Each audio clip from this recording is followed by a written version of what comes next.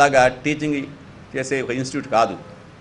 టీచింగ్తో పాటు రీసెర్చ్ కూడా చాలా దానిలో భాగంగానే మీ అందరూ తెలుసు నేను నా హైదరాబాద్ దేశంలో నంబర్ వన్ యూనివర్సిటీగా చేయాలంటే ఏం చేయాలని ఈ దిశలో ప్రయత్నంగా కొత్త ప్రయత్నం రాష్ట్ర ప్రభుత్వం నుంచి వస్తున్నది.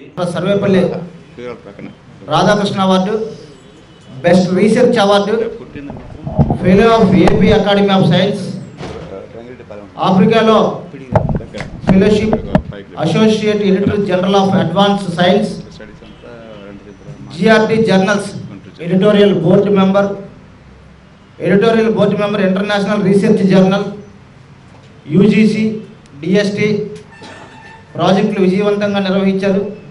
మరి అనేక జాతీయ అంతర్జాతీయ వేదికలపై ఆయన అనుభవం అంతా కూడా రంగరించి ఎంతోమందికి శిక్షణ ఇచ్చిన ఘనత మన ఆంధ్ర విశ్వవిద్యాలయం వహించాల్సిన నాగేశ్వరరావు గారిది. మరి అటువంటి మహోన్నత వ్యక్తి మన వర్సిటీకి వీసీగా నియమితులు కావడం మన అందరికీ కూడా గర్వకారణం. ఈరోజు ఆయన మన మధ్యకి రావడం జరిగింది. వైజాగ్ జర్నలిస్టులు చేస్తున్న అనేక కార్యక్రమాలు విజయవంతం అవుతూనే వస్తున్నాయి. మరి స్పోర్ట్స్ మీట్ తర్వాత మరొక బృహత్తర కార్యక్రమం ఇది.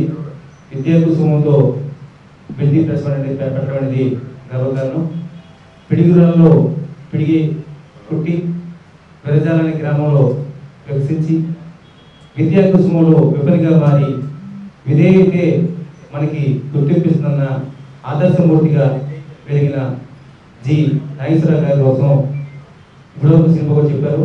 వాస్తవంగా కృషితో నాస్తి వృక్షం కష్టే పని అనే మాటలకి నిలువెత్తిన దర్శనం నాగేశ్వరరావు గారు.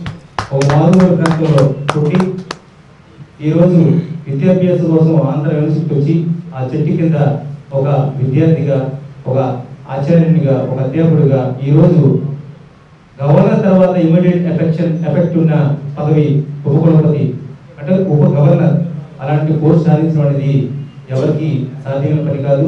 రాష్ట్ర వ్యాప్తంగా అనేక మంది రాజకీయ ఒత్తిడికి గురై ఉపకులపతి ఎంపికలో ఎన్నో రాజకీయాలు చేసిన సాక్షాత్తు అంటే అది వాస్తవం పత్రికని గవర్నర్ గారు కూడా ఒక పేరు సూచించిన మొక్కై మొడిచి కుసుమమై బయటకు వచ్చిన నాగేశ్వర గారిని రాష్ట్ర ప్రభుత్వం హక్కులు చేర్చుకొని ఆంధ్ర యూనివర్సిటీకి అప్పచెప్పడం సర్వదా వైద్య జనస్వరం తరపున చాలా మంచి శుభపరిణామం అని తెలియజేసుకుంటూ ఈ తొంభై ఏళ్ళ చరిత్రలో ఆంధ్ర విశ్వవిద్యాలయాన్ని ప్రపంచంలోనే ఒక గొప్ప యూనివర్సిటీగా అభివృద్ధి చెందించారు. అటువంటి తొంభై ఏళ్ళ చరిత్ర కలిగిన ఆంధ్ర యూనివర్సిటీకి నేను పదిహేడవ వైస్ ఛాన్సలర్గా రావటం నా అదృష్టం. అంత గొప్పవాళ్ళు ఈ యూనివర్సిటీని ముందుకు తీసుకువెళ్తే సారథ్యం వహించి అటువంటి అవకాశం నాకు దొరికింది.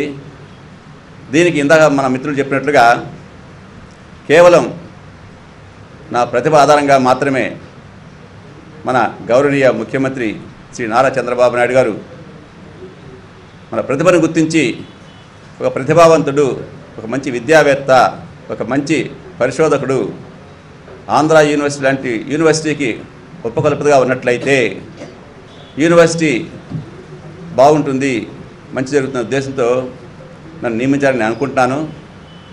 వారి ఆశయాలకు ఆకాంక్షలకు అనుగుణంగా ఆంధ్ర యూనివర్సిటీని దేశంలో మొదటి యూనివర్సిటీగా నిలపడానికి నా శాశక్తిలో ప్రయత్నం చేస్తాను.